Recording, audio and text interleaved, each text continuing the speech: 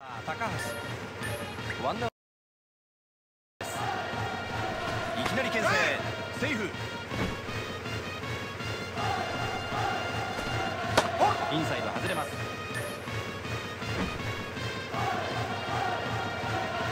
2球目は何で来るか。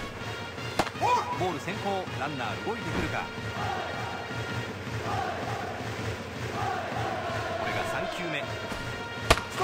ってはきませんが一塁ランナーは俊足です。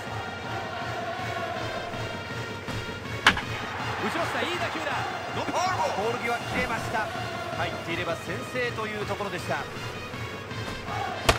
ンナーを警戒すれば当然速い球が主体となってきます。